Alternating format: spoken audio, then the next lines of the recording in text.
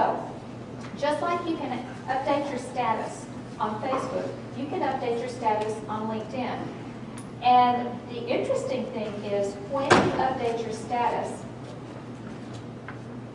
I, there are two places to update it.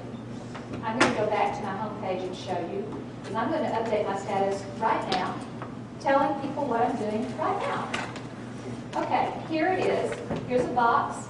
I can change. The last thing I put was four days ago, and I met with talented students in the TCU SHRM chapter to discuss taking charge of your career search. Okay. Before I do that, notice this little, who knows what this icon is? Twitter, right. If you want this status to also show up on your Twitter, then you can just check this little box. And then you don't have to go in there and do a second status. I don't, I don't know if there's a Facebook one yet. Probably come. Okay, here we go. Now remember, when you're updating your status, you don't want to write your name. Pam is, because then it would say Pam Stover, P Stover, da, da, da, da, da, Pam is. Kind of clunky, so, all right, is teaching. Got you spelled correctly. Talented.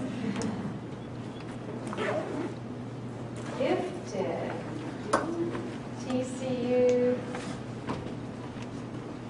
You're not all students, are you? We're alums. Students and alumni. The incredible benefits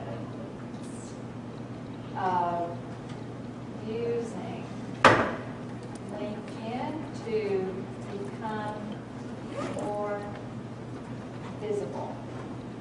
Okay, so I'm going to share that, and that is now my new status. And it was done one second ago. All right, and now it's on Twitter as well. Okay, yes, I have a question. What's the point in those? what's the point in the, in the status? Yeah, I mean, I'm just curious, like, like what the business, like, benefit to that is. Okay?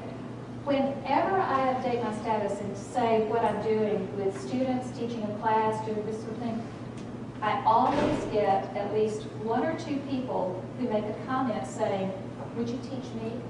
Or some, one group contacted me and said, I saw that you were doing this workshop for TCU students. We've got a networking group that meets in North Fort Worth on Monday mornings. Would you come and teach us to do that too? So it's opened up some speaking engagements for me. So be careful. Think about who's going to see this and how it's going to be received. Don't just say, I'm sitting out by the pool reading a magazine. It's not for that.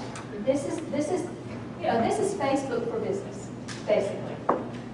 And, and that's how I see it. It's a way to let people know what you're doing that will help them see you as a potential employee, or a potential speaker, or a potential contractor, or anything else. Okay? Does that make sense? Okay.